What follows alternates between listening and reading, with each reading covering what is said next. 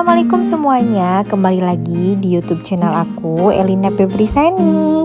Nah di video kali ini edisi bebikinan alias bikin-bikin ala-alaku Karena udah banyak sekali permintaan teman-teman yang katanya bikin olahan untuk buka puasa uh, terlebih untuk takjil ya yang manis-manis kayak gitu. Jadi ini aku mau buat olahan dari ubi yaitu obi tapi ini ala aku. Pokoknya simple sederhana uh, tapi bener-bener yummy. Keep for watching. Jadi pertama-tama ubinya kita kupas dulu. Nah setelah kita kupas cuci bersih lalu kita rebus dulu ubinya.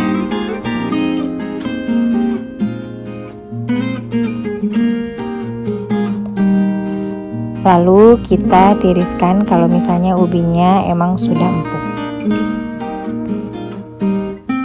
Dan bahan-bahan yang harus disiapkan itu ada tepung tapioka, ada garam, ada gula halus, ada gula pasir, dan tentunya ubi yang sudah direbus.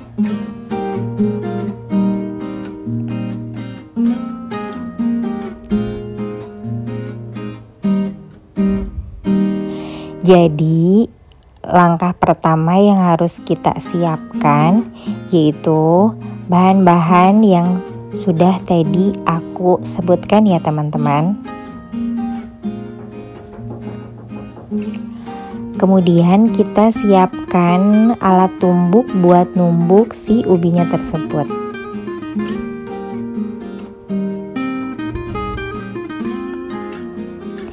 Kita tumbuk-tumbuk dulu sampai halus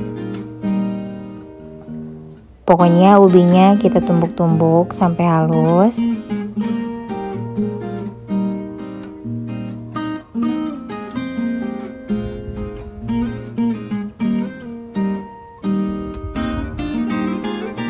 Nah, kalau misalnya ubinya udah halus kayak gini, kita uh, pisahkan ke tempat yang lebih besar.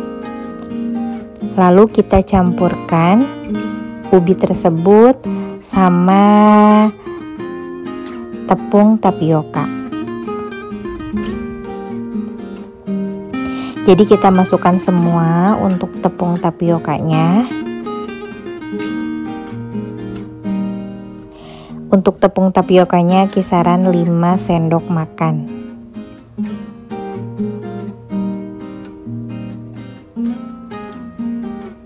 Dan ini untuk gula pasirnya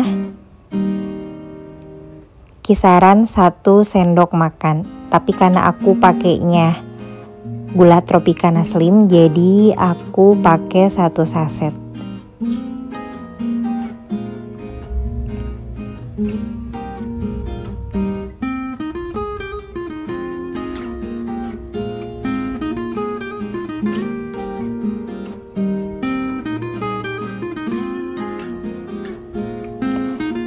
Nah, lalu kita tambahkan garam. Dan ini aku pakai garam Himalaya pink salt.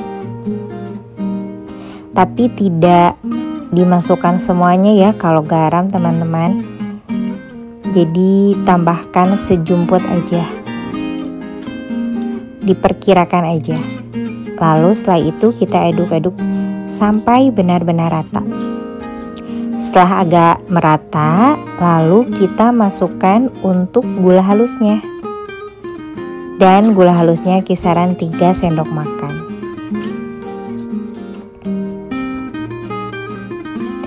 Nah, kemudian kalau misalnya udah kalis, lalu kita bulat-bulat deh.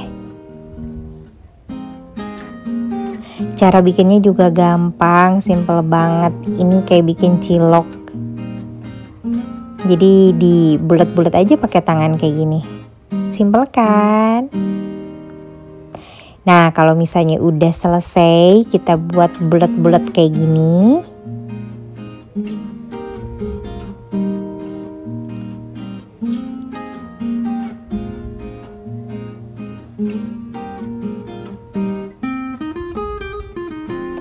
Lalu kita panaskan minyak goreng.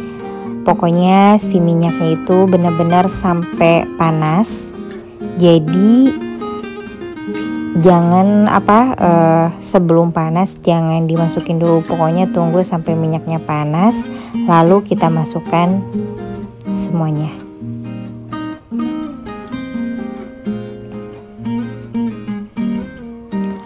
Oh iya jangan heran ya teman-teman. Jadi obi itu kalau misalnya pas kita goreng Emang bentuknya itu emang bener-bener bulat sempurna kayak gini. Tapi nanti kalau misalnya udah ditiriskan Udah diangkat kayak gitu Jadi agak apa ya petot-petot kayak gitu sedikit sih itu nggak apa-apa. Dan ini hasilnya teraram. Obi ala-ala akunya udah jadi nih gengs Nah jangan lupa ya nanti ditaburi gula halus lagi disaring kayak gitu. Dan ini teksturnya bener-bener lembut kenyal manisnya luar dalam. Selamat mencoba teman-teman. Dan ini sangat sederhana dan mudah dipraktekkan di rumah. Untuk lengkapnya bisa cek di deskripsi box ya. Terima kasih sudah menonton Jangan lupa untuk like, subscribe, nyalakan tombol lonceng, share ke semua sosial media yang kalian punya, dan sampai jumpa di video-video selanjutnya. Dadah!